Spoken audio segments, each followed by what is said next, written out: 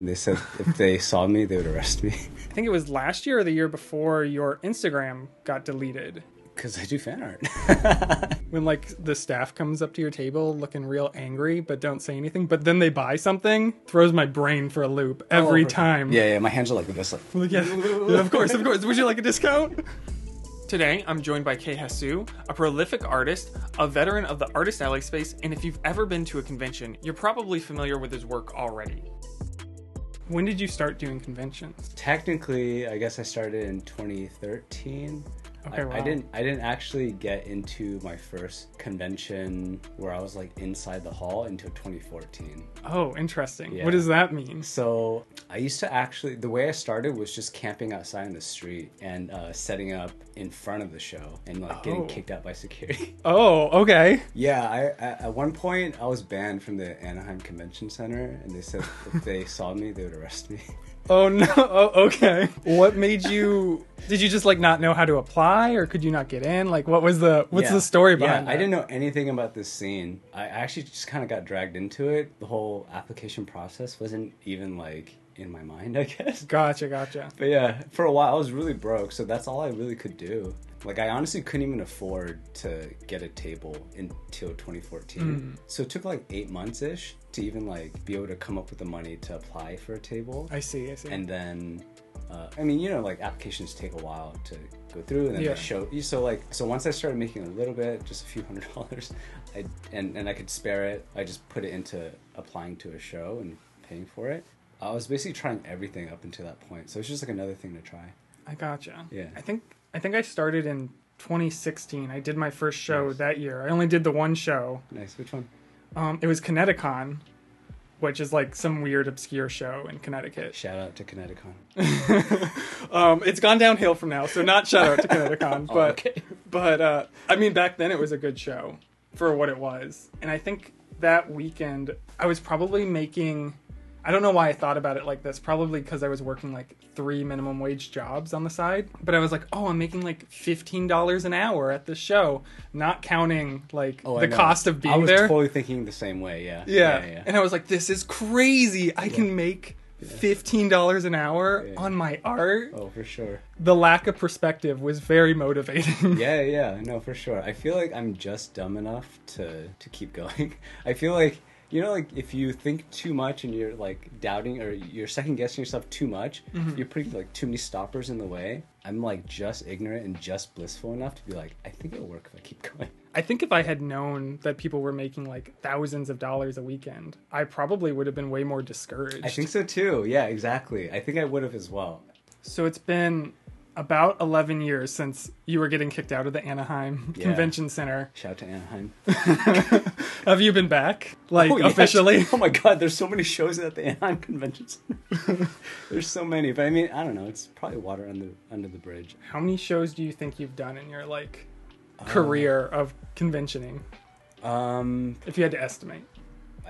maybe like more than 500 Oh my god. oh my god. more than 500 I think I just recently hit 100. really? Oh Yeah. wow. Nice. That's awesome. Do you like how many shows did you do like last year? kids now. Okay. so after i had kids i have had to scale down. I'll probably show up to maybe like 18 That's still a lot. yeah.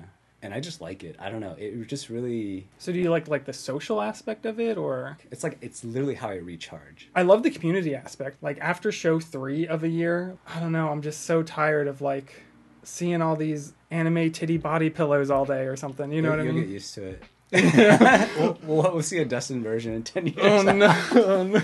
Yeah, if nothing else works out.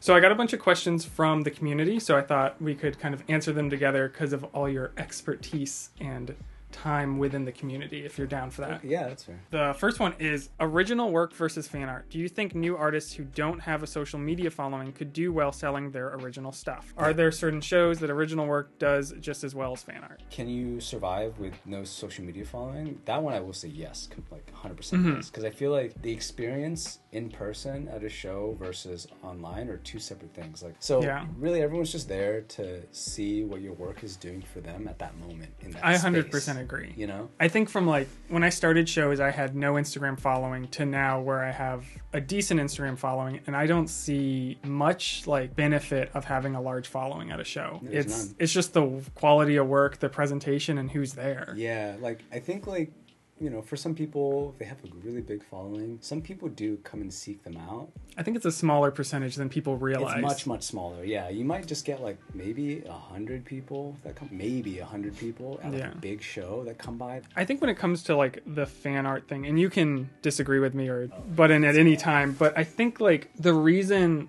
I think fan art does so well is you immediately connect with it because you recognize it. Now that's not saying that original work can't connect in the same way. Sure. Like, or I sell mainly original work. I also have a little fan art, but like if I do a painting of a sunset, everybody knows what a sunset is and they're going to connect with it just like mm-hmm. they might connect with Pokemon. Like mm-hmm. everybody at that show probably knows what Pokemon is. So like if I'm doing a piece that can connect with somebody that's not attached to an IP in the same way and have that visceral like emotional like connection, then I think original artwork can do just as well. Yeah, I totally agree with that. This is universal things like plants or animals or, Yeah, yeah.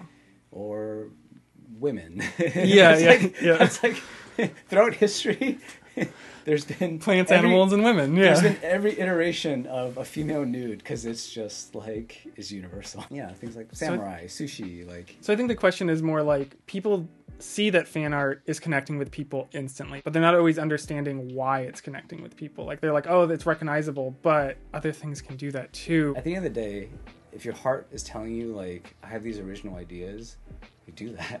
Don't don't feel like you have to do fan art Yeah, just yeah. Because that's like the only way to make money.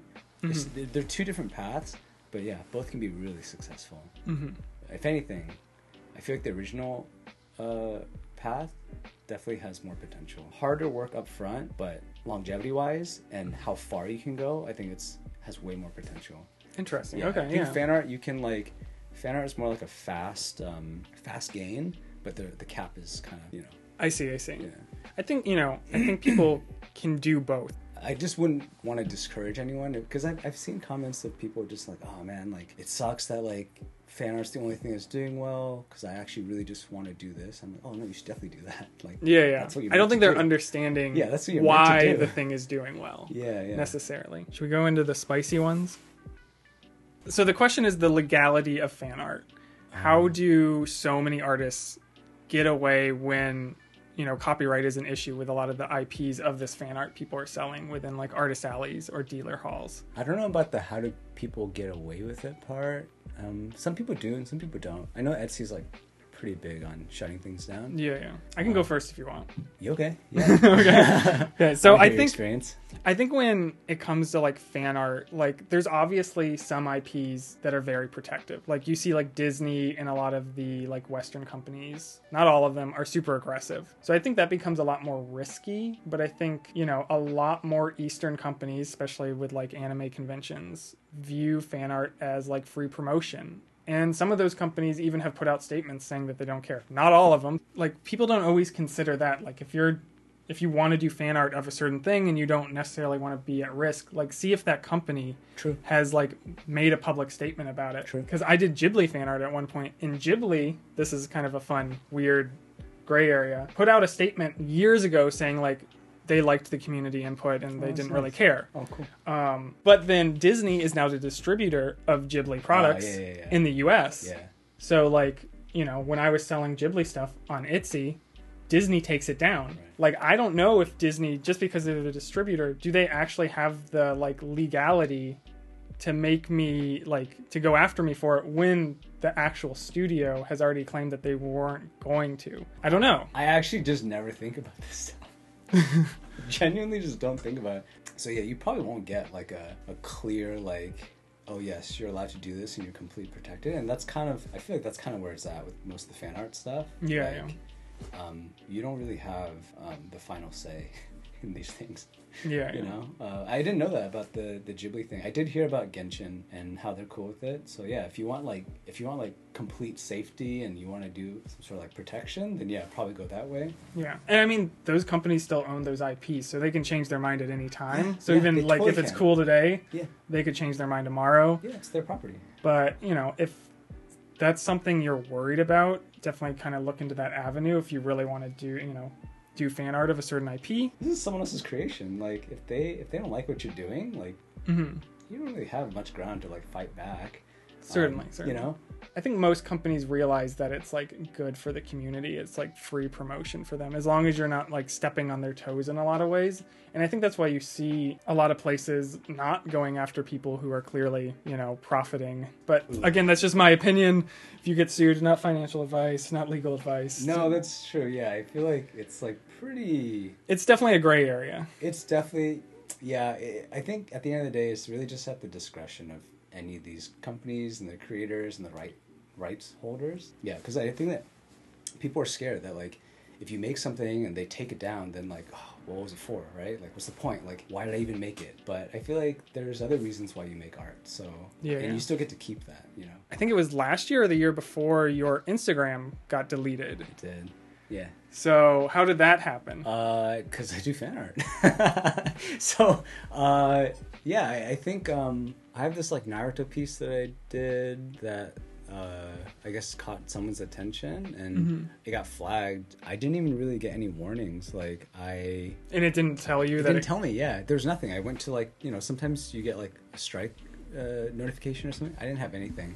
I just noticed that it was gone, and then the next day uh, I tried logging in, and I got locked out of my account, and then still no notification. yeah, still no notification, and um, it just as I was trying to log back in, it then it gave me a notification saying like your account will be suspended for like 14 days or something because you got some sort of like whatever uh, copyright notice violation thing. Okay. Um, I tried appealing it, Mhm.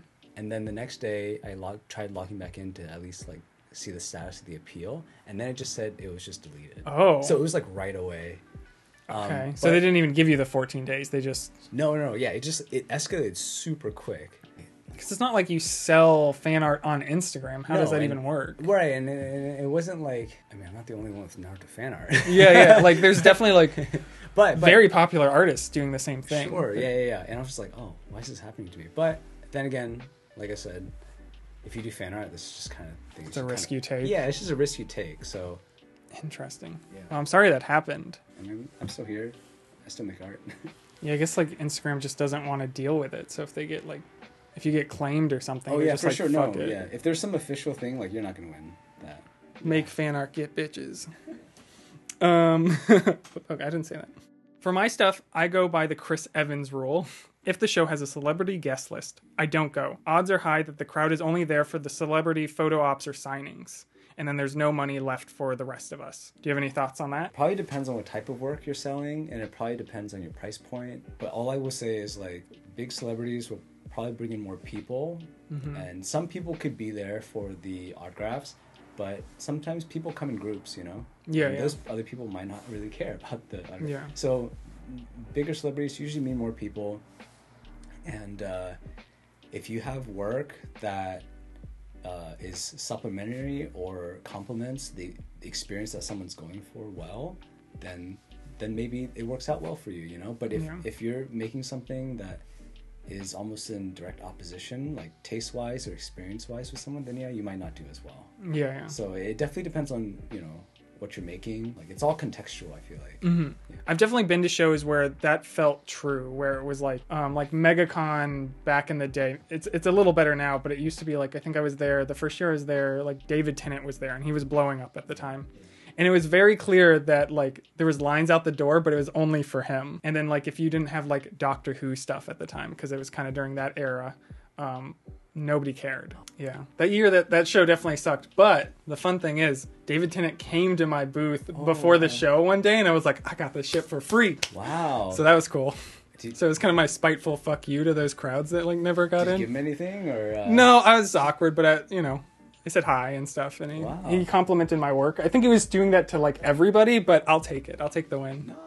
I think there's more external factors also. Like I think I've been to like very small local shows where then they like put all the cons budget into getting like a big celebrity and then charge like $70 for a signing and mm-hmm. $70 to get through the door. Mm-hmm. When it's such a small local show like that where it's not really bringing in people who travel, which are mm-hmm. typically people with a little bit more money often or like are saving up Sure, sure.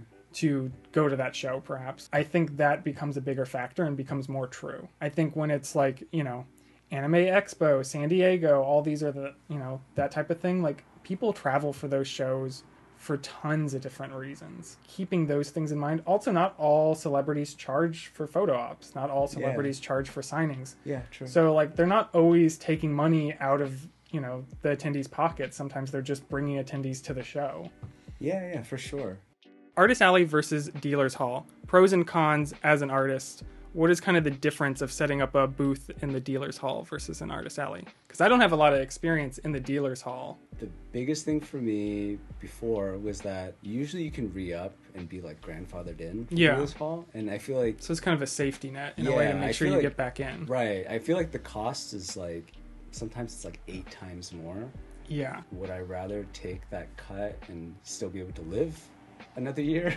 It was like a guarantee. right Yeah, yeah, yeah. yeah you know so for me that's that was one of the reasons and then the second one would probably be um, you usually have more flexibility with how you can set up Yeah, yeah, for sure. Um, How do you feel profits are versus one or the other? Do you see a difference in that? Uh, honestly not really i feel like it works out to be the same if anything i actually think you do better in artist alley That's what I've been because people are there to to shop for art. right yeah you definitely get seen differently being in the dealer's hall um, I feel like there's a different strategy to like setting up your booth too. Like it has to be much more grandiose to like be seen in such a big hall a lot of times. Yeah, it's like it's like a whole different game sometimes because the context changes when there's different people next to you and also the mindset that people come in. So just like I usually just take a walk before every show.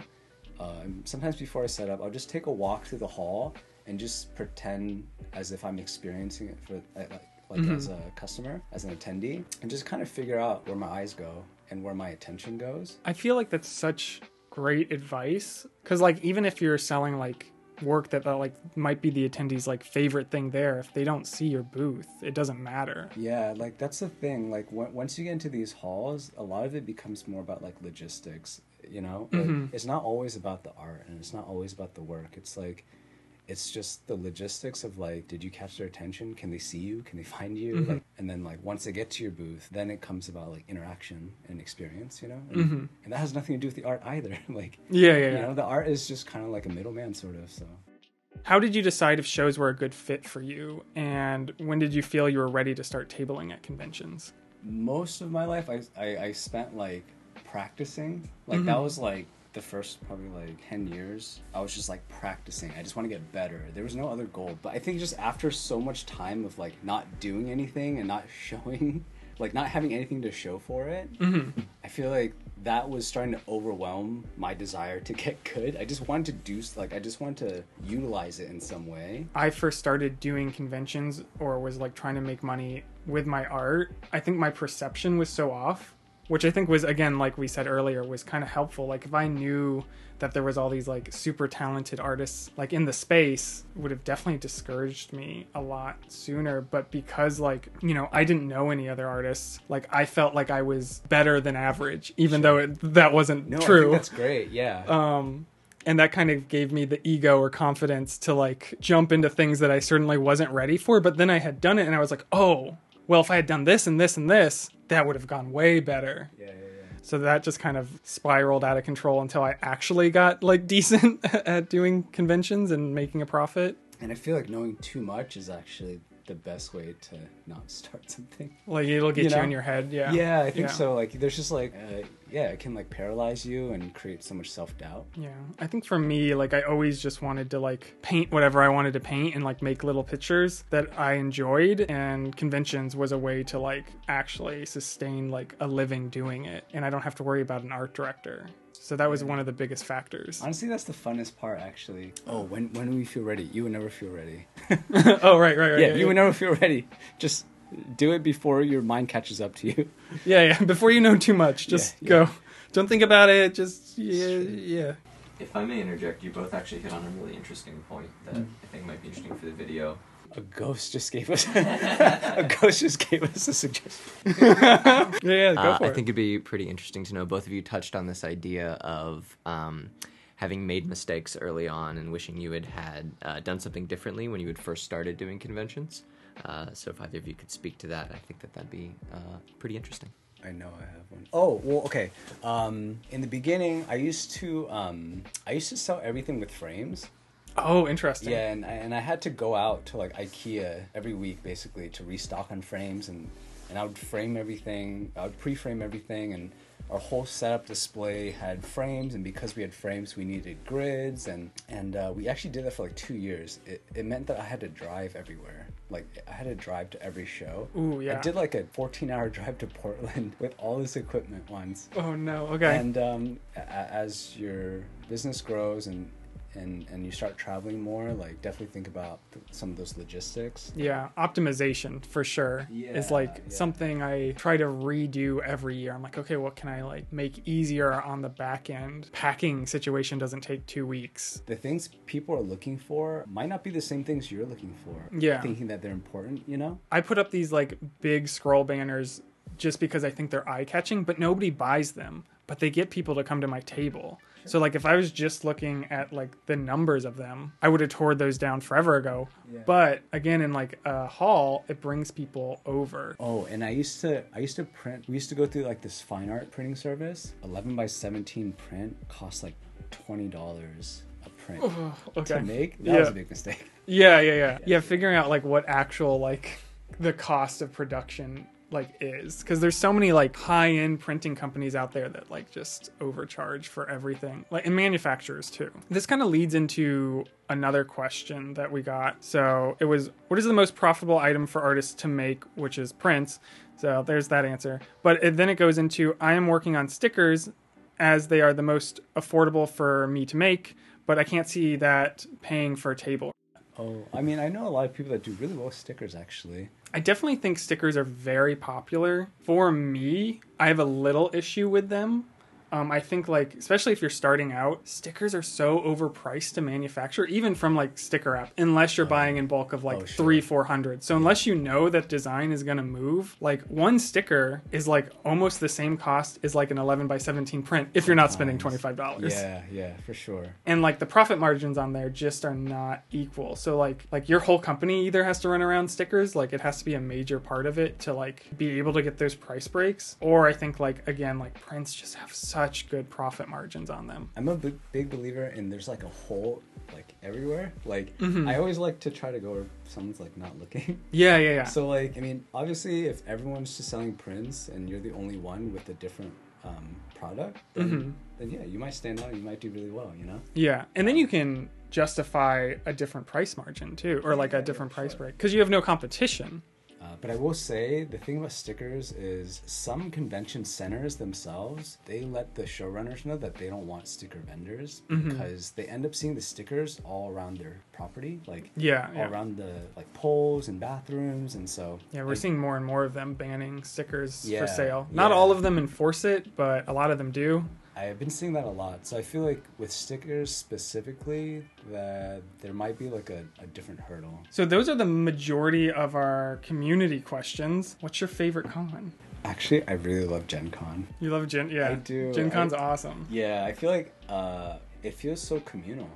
hmm That I feel like I, I don't really feel as much, I guess, at other It's very unique. events. Yeah, like they really. I think it's really cool that all, all the artists kind of get together. They still have like an award show.